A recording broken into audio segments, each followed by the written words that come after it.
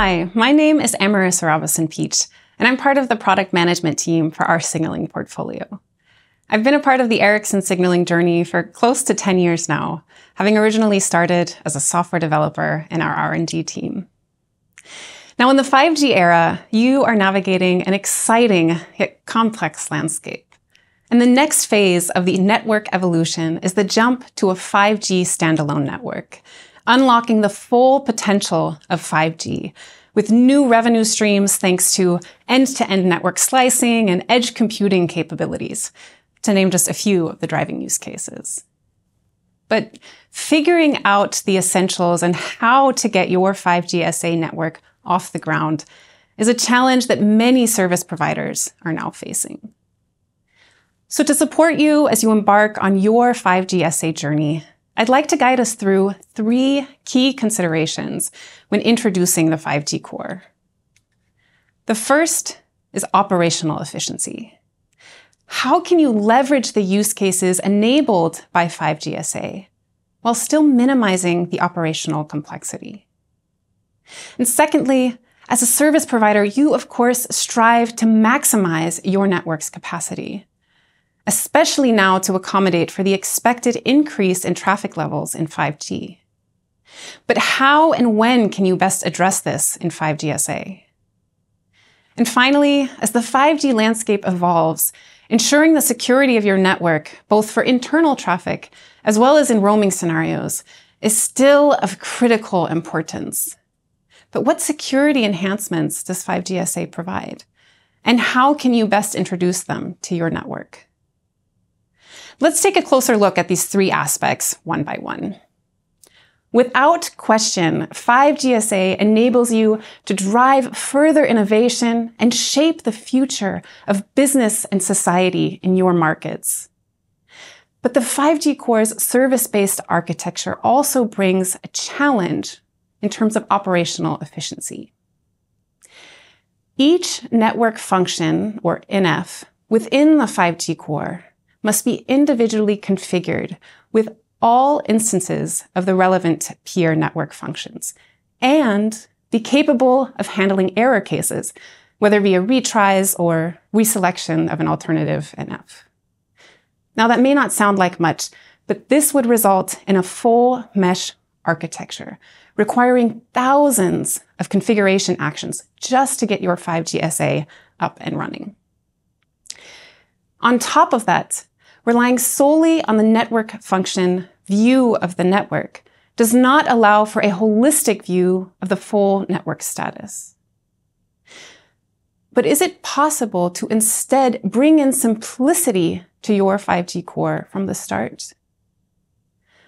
We believe and have seen that with the right signaling solution, it is.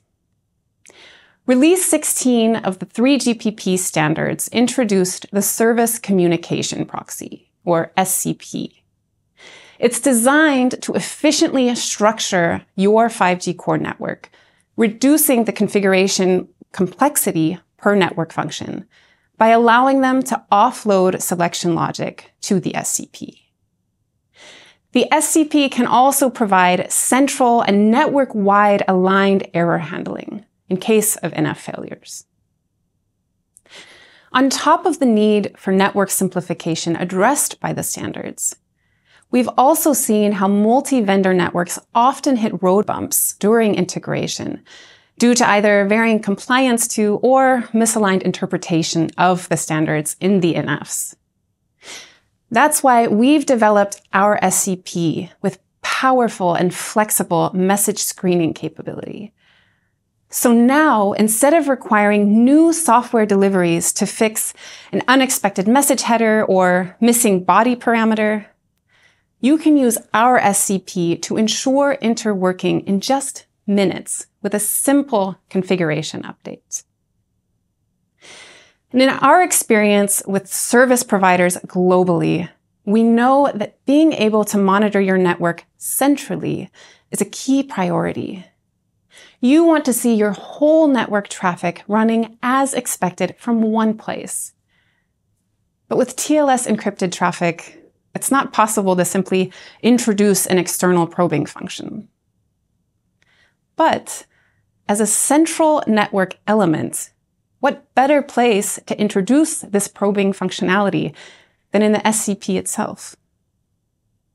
That's why we deliver an integrated and centralized probing solution with our SCP, capable of tracing both unencrypted and encrypted traffic. Now let's move to the second aspect to consider, maximizing your network's throughputs.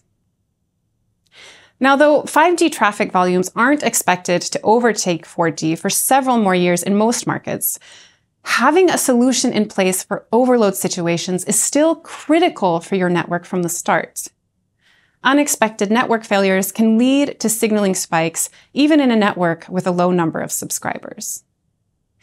And if we try to address this on a per network function basis, we run into two issues. First, relying solely on the capability of each NF to address overload can lead to misaligned behavior due to implementation differences. And secondly, it's not possible for an individual NF to ensure that traffic is efficiently and evenly distributed across all available producers. It only has the visibility of its own traffic and not for all the traffic destined for the same set of producers. So what is the solution for effective load and overload handling in 5GSA? When it comes to handling signaling peaks, we still recommend reacting as close to the source of the overload as possible. In 5GSA, this means that the consumer, for example, an SMF or AMF, would act as the first line of protection against incoming signaling storms. The SCP can then provide a second line of protection before reaching the producer network functions and compensate for any missing NF consumer functionality. Additionally, as a central proxy, the SCP can also ensure proper load distribution for all traffic toward a given set of NFs considering the relative capacity of the NFs and steering traffic accordingly via weighted load distribution. But in case of a producer overload, indicated by specific error response codes, the SCP can also reroute traffic to an alternative NF. And our SCP can temporarily take that affected NF out of the load distribution to allow it a chance to recover. The SCP can also react on the 3GPP defined Overload Control Information Header, or OCI, carried in the HTTP response message.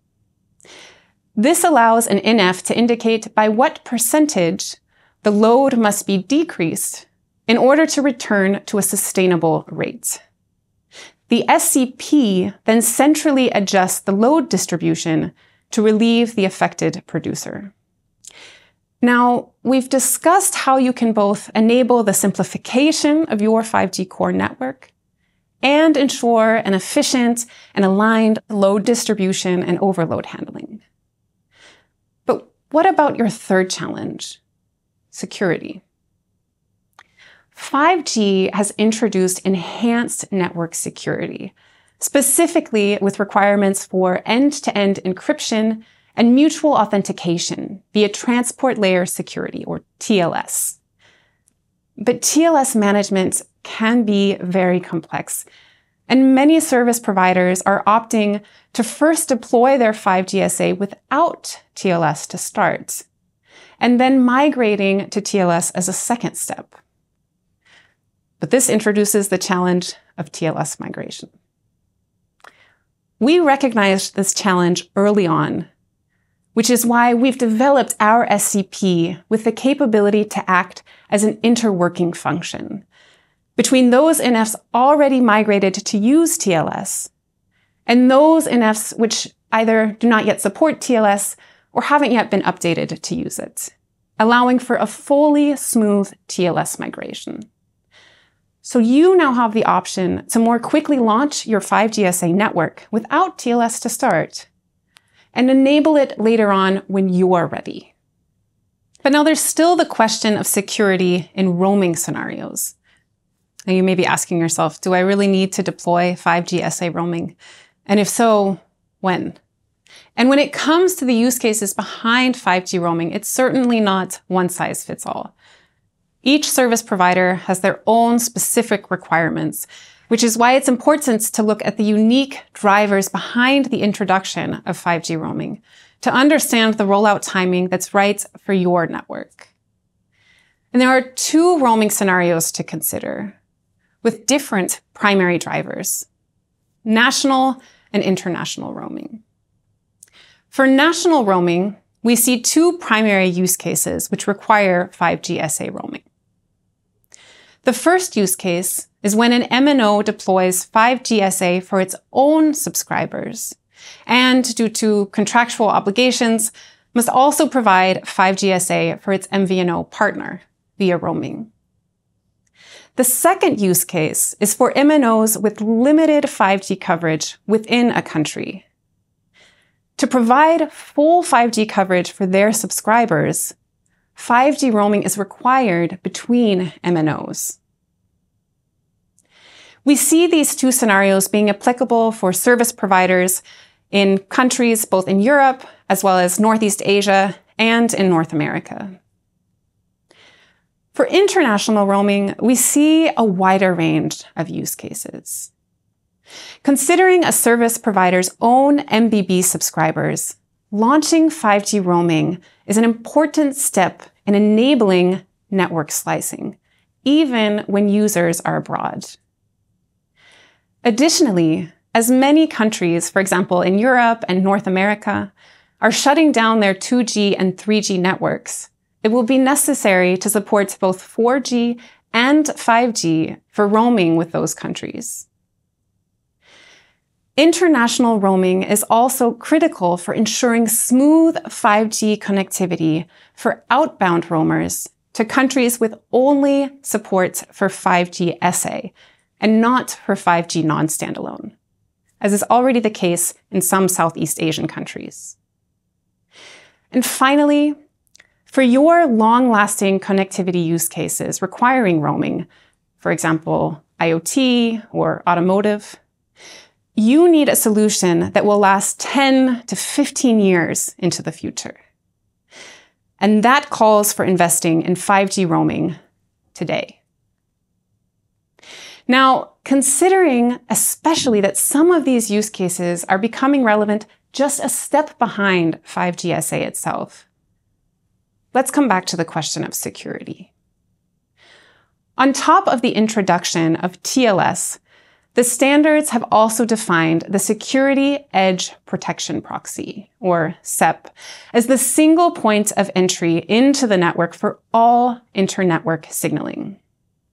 This allows the SEPP to provide additional security features, such as topology hiding, ensuring that only necessary information is allowed to leave your network, as well as firewall functionality, providing stateless and stateful security checks. So you have the assurance of a secure network, even for 5G roaming. And we've covered quite some ground in looking at these three aspects. And we can see that 5GSA is here with 5G roaming just a step behind. And a robust and proven signaling solution is critical for the successful evolution of your network. So let me summarize the key aspects that we've addressed. First, to maximize your network's operational efficiency, we recommend to include the SCP in your 5G core deployments from day one. And with our SCP, we not only enable network simplification, but we also bring our strong expertise and the proof of our SCP being live in a North American Tier 1 network already since 2019. Additionally, with our extensive experience in signaling over the past generations, we've addressed the pain points of complex inter-vendor integration by developing powerful message screening capability. a functionality that we've already seen ensure faster and smoother deployments of the 5G core network for many of our customers. Secondly, shield your network against overload and signaling peak situations by introducing a second line of protection with the SCP. And benefit from the central and aligned load distribution algorithms and overload control that our SCP provides. Finally, keep your network secure and get ready for 5G roaming by ensuring that you have a SEPP solution in place that goes beyond the standards with topology hiding and firewall capabilities that can protect your network against even the toughest threats. With these guiding principles, you're now equipped to start your own 5G SA journey on the right foot.